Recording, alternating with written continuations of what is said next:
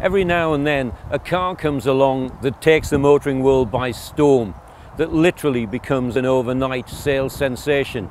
And one such car is the Citroën DS3. The DS3 literally came from nowhere. Citroën decided to take a bit of a gamble and go back in their history to use the DS name. And they put it, for the first time ever, on a small Super Mini. But it was a small car with a whole load of attitude. What people loved about the DS3 was the very much in-your-face front to the car that captured everyone's imagination.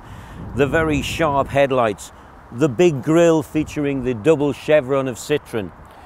The other reason the DS3 has been such a formidable success is that it's been brilliant on personalizing a car. You can get just about any color scheme you're thinking there are some very, very funky colors which go with a very sporty look. This one is in like a plum purple with a matching white roof, matching white wing mirrors. They've added a lot of character to the car and people love it. When it comes to boot space, DS3 fits into the adequate class for a Super Mini. Let's face it, you're not taking all of the uh, big luggage you'd want in a, in a large car. That doesn't happen. It's got split folding rear seats as well, so it's reasonably practical for a small car.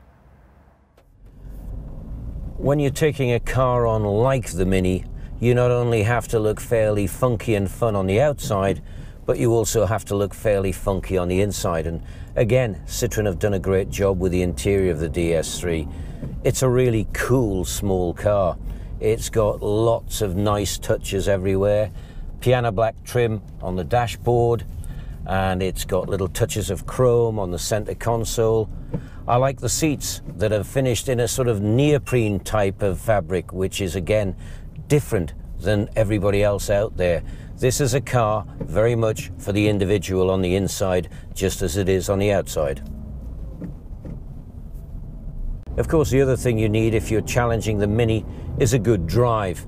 And once again, the French have done a very good job with the DS3. You get a choice of engines 1.2 litre petrol, 1.6 VTI petrol, which is ironically the same as the Mini and the one to go for for the sporting driver, and a 1.6 turbo diesel, and that's obviously for the economy minded driver. I'm driving the 1.6 petrol engine, and it really is a peppy little engine. It's got good performance, especially for a small car. It's nippy and it's got reasonable handling. It's not as good a car to drive as the Mini, not quite as entertaining, but it's close enough for most drivers.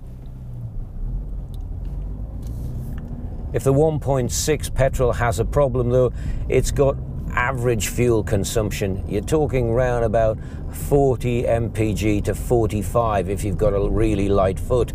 So if you're looking for economy, the one to go for there is the diesel, which will put you up a little bit closer to 55, 60 miles to the gallon, which is nearer what you'd expect from a Super Mini. A day behind the wheel of the DS3 has merely underlined to me why it's been such a runaway success and why over 370,000 people can't be wrong. This car is for people wanting to have that individual touch. It's for people wanting a small car that stands out with as much presence as a big car.